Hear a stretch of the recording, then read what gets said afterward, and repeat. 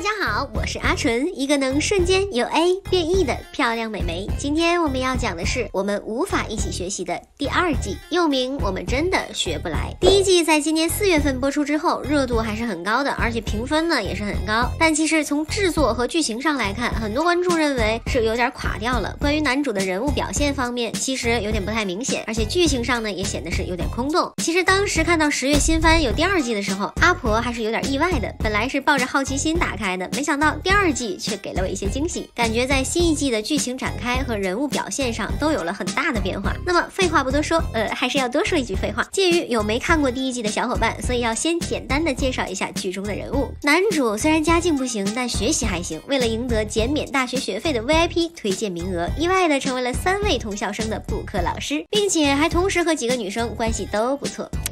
看看，同样是男孩子，为什么差别会这么大？人家光暧昧对象就好几个，而你却一个可以联系的异性都没有。但男主的补课之路并没有想象中的那么顺利。旭方李珠，一位执着于考取文科大学的理科天才；古桥文乃则恰恰相反，明明是文科天才，却偏要考取理科大学。五原润香倒是不偏科，除了体育，文化课都平均的不太行。模拟考试出来之后，旭方先去拿了自己的成绩，打开之后真的是一脸懵逼呀。之后就找到了自己的好朋友，把自己变异的事情告诉了朋友，但朋友们听过之后却纷纷投来了羡慕的眼光。那该是什么尺码的呀？尺码？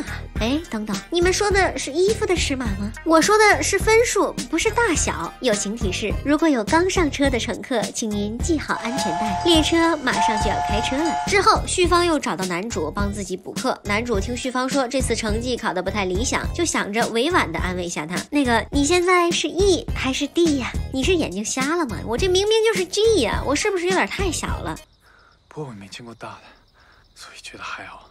现在我们再想一下，剧名叫什么来着？我们无法一起学习。经过一番苦学之后，男主打算去泡个澡，放松一下，然后发现洗浴竟然搞错了门帘，这是什么神仙福利呀？小妹妹，嗯，你要搓背吗？不过最后男主还是掩护女生们离开了浴室。第二天，男主被要求和学姐小美浪去做兼职，上门打扫卫生。好巧不巧，第一家竟然是自己的老师家。嗯，老师确实是天。老师看到来打扫的人竟然是自己。的学生二话不说就把男主拽进屋子了，但具体干嘛了，这个就不清楚了。反正重新见到男主的时候，他是这样的。之后两人就去了第二家，结果却是五元家打扫。哦，我确实叫了家政服务，但是我想要你们来看我打扫的。说着，五元就开始是一顿狂扫，顺道着连饭都会做了。快看，妹妹我厉不厉害？小美浪感觉自己的职业生涯遭遇到了滑铁卢，明明自己才是打扫卫生的那个呀，怎么能只收钱不干活呢？第三家我一定要拿下。叮 咚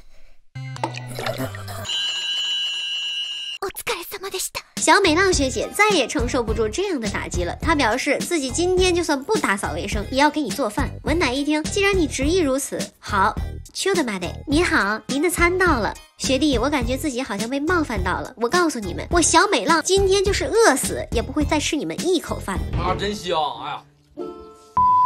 其实学不来的不单单是同学，老师你也学不来。现在那些在弹幕里高呼老师是天的同学，难道你已经忘记大明湖畔的三九了吗？老师的性格很冒失，极其不擅长家务，甚至说是废柴。监考的时候会忍不住睡过去，钥匙会被伪装成 U 盘放进 USB 收纳包里。但这些并不是关键，关键你们就是馋他的身子，你下贱。但是我还是想问一下，旭芳的意已经不香了吗？这天旭芳打算修剪一下自己的刘海，结果。却不小心剪坏了。更不幸的是，在路上还碰到了男主。男主热情的和旭芳打着招呼，但旭芳却表示：“我不能露脸，我要过十万订阅才能露。”之后的补习当中，旭芳戴了一个大头娃娃的头套来遮挡自己的刘海。这里我要赌五毛钱的，你只要不剃光头，男人是不会看出你的变化的。文乃实在是看不过去，就摘掉了旭芳的头套。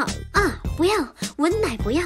なんだいつも通り难道男人除了大小就看不出来别的吗？相信看过的朋友都应该知道，这部后宫番里都会有百合的味道。那是一个阳光明媚的白天，关城沙河子又考了个一百分，然后就被同学们排挤了。其实这个被排挤的原因我是不太理解的，毕竟当年我为了抄好学生的作业，可以说是卑微到了尘埃。然后就在沙河子感觉到自己孤独无助的时候，旭芳出现了。旭芳和自己性格相反，她完全不在意他人的眼光。沙 河子被深深的吸引住了。这次因为旭芳要买铅笔盒，沙河子才得了和旭芳单独相处的机会，甚至兴奋的一夜都没睡着。沙河子按照自己先前列的行程表，一步步的实行着。计划本来很完美，但奈何途中遇到了男主，于是沙河子就忍痛割爱，决定让男主陪旭芳去挑笔盒，自己一个人离开了。我现在有点想占沙河子了，怎么办？不过大家不要忘了，男主可是一个钢铁直男，他根本就不会认为这是一个机会，所以他凭借敏锐的洞察力，很快就。找到了沙河子，男主拿出了沙河子半夜发的十几条朋友圈啊，好期待明天的约会呀！哎呀，兴奋的睡不着，都凌晨一点了，是不是该出门了呢？凌晨三点了，再不出门就要迟到了呢。不过男主也算是沙河子的僚机了，在男主的逼问之下，沙河子说出了自己喜欢旭芳的原因，但这一切恰好被赶来的旭芳听到。旭芳虽然对感情的事情不太开窍，但至少知道了沙河子刚刚不是因为讨厌自己才跑掉了。于是旭芳再次邀请沙河子。陪自己去买笔盒，沙河子一听有点兴奋，然后左脚绊右脚，一把就抓住了旭芳。好了，今天的画面就让它定格在这美好的时刻吧。喜欢的朋友自行去追番吧。片名我们无法一起学习，真的不要再追问这个问题了。爱你们！Hello，大家好，我是阿纯。如果你喜欢这个视频的话，记得一定要点赞加订阅哦。爱你们！